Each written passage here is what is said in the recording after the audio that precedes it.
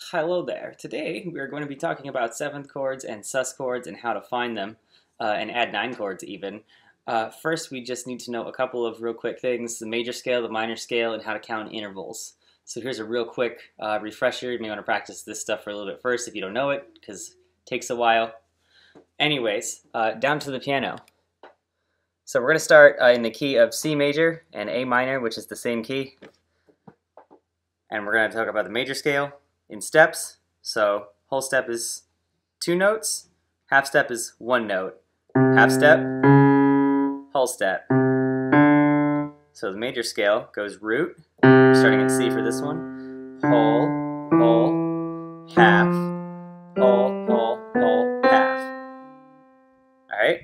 And then the minor scale goes root,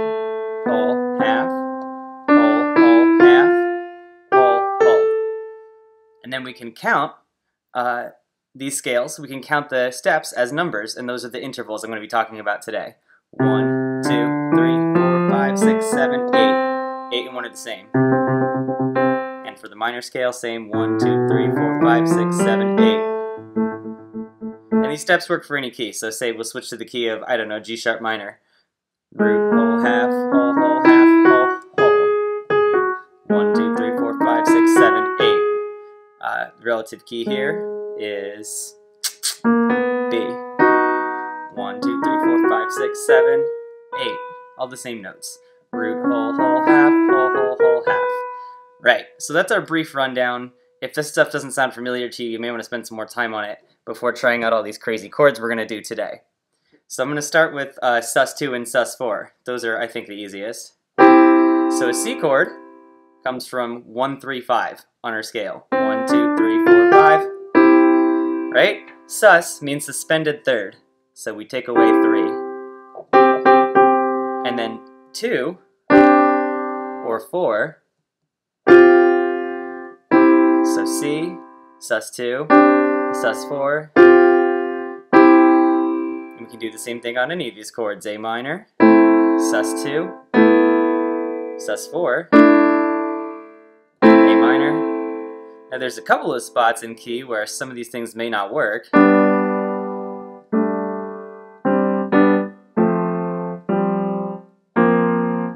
There we go. So for example, 1, 2, 3, 4, 5.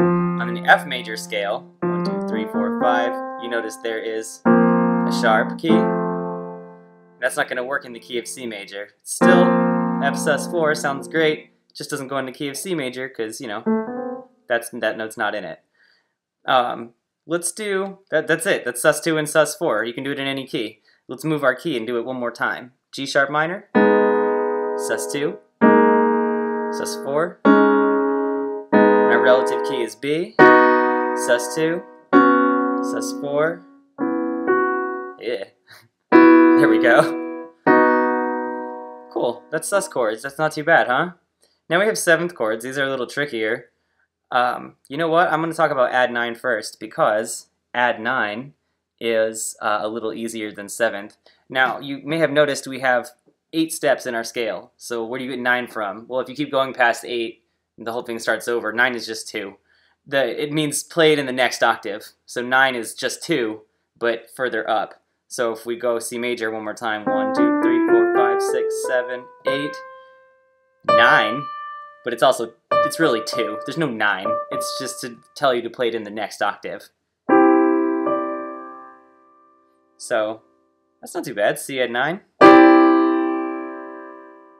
We do A minor add 9. Let's see.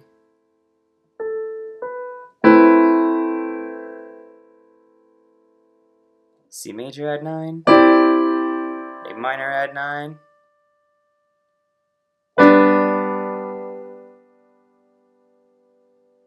and they'll see that in a different key. So we'll go to G sharp minor again.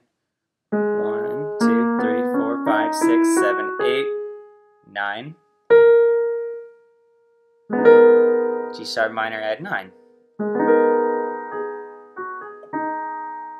It's kind of a nice way to start a tune or a melody, maybe.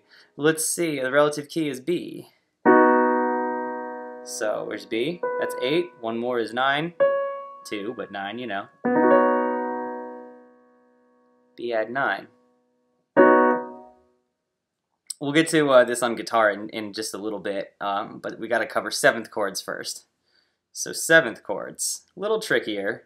We do. I have a, a, way to always give you the correct seventh chord in the key. There's three types of seventh chords that we can do. We have major seventh, minor seventh, and dominant seventh, which sucks. There's more types of seventh chords than we even have scales that we're basing them off of. I'll tell you right now, dominant seventh means major chord flat seven. So we'll, we'll go through these in the key of C major to make it a little easy. C, C major 7. 1, 2, 3, 4, 5, 6, 7. Ooh, there we go. Right? D minor 7. And you notice in this key, they're all the same shape. Only this key, because it has no sharps and flats. We have E minor 7. F major 7. Now here's where things get a little tricky. If we want to stay in the key of C major, or any key that we're in, if we want to stay in key, uh, the interval before the minor root, A is the minor root, G is before the minor root, that interval, you can't do a major seventh chord there. It's got to be a dominant seventh chord, because in G major scale, 1, 2, 3, 4, 5, 6, uh, 7, 8. So this note sounds lovely, but it doesn't fit in the key of C major, which has no sharps and flats.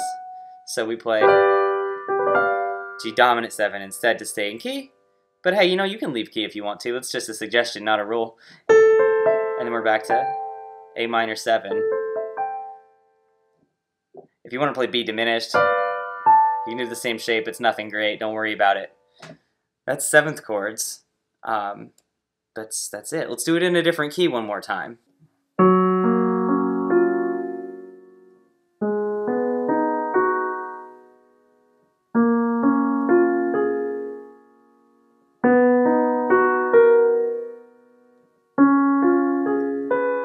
Dominant note.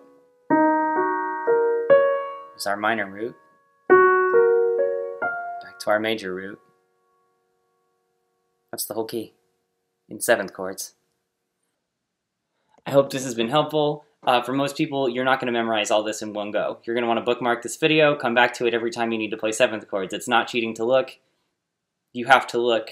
You have to use the resources available to be able to memorize it and practice it. Nobody can just watch this watch this stuff or absorb this stuff in one sitting, uh, whether it be through a book or whatever. It's, it takes practice. You're going to have to come back. You're going to have to work on it multiple times. So be patient with yourself and enjoy working with your new chord types. I hope this has been helpful.